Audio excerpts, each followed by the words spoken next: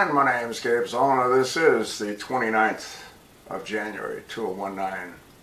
Article posted by Fox News, written by Travis Fedschun. That's capital F-E-D-S-C-H-U-N.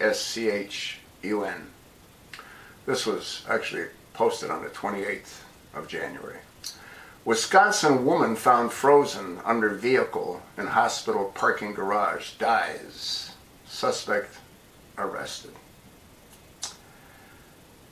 Carlie Beaudin, 33, died Friday after she was found unconscious and frozen under a vehicle in a parking garage. Medical College of Wisconsin. What a pretty girl. What a terrible waste of life.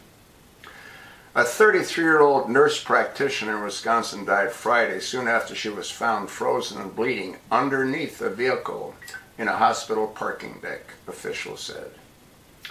Carlie Beaudin was discovered in a parking structure at Froedtert Hospital in Milwaukee County after deputies were dispatched to the area around 3.45 a.m. and came across a vehicle that crashed into the wall of a garage. Authorities found a 33-year-old unconscious underneath and bleeding from the head. She was also frozen to the ground and had a weak pulse. She was freed from underneath the vehicle and transported to the hospital where she was pronounced dead at 4.21 a.m. according to Fox 6. At a news conference, Milwaukee County Sheriff Earnell Lucas said a 27-year-old man was taken into custody in the case. Additional details about the case, including any possible connection between the victim and the suspect, were not released by officials as of Monday afternoon. Authorities were still reviewing surveillance video from the parking structure, but had classified Beaudin's death as a homicide.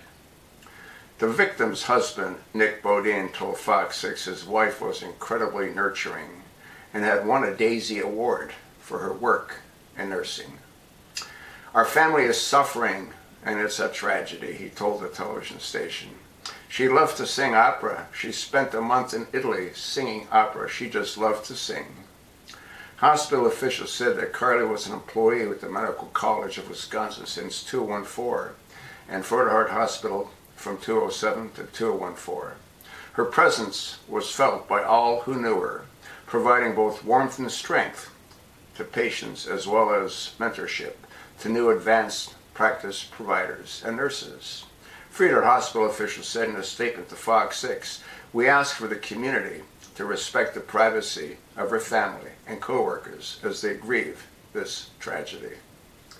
You notice they haven't identified the suspect? Hmm? You want to bet he was also a border jumper? Hmm? Absolutely insane. The longer these Democrats prevent a border from being built, the longer these kinds of incidences, unfortunately, are going to take place. If I find out the specifics on this particular event, I'll do my best to update you.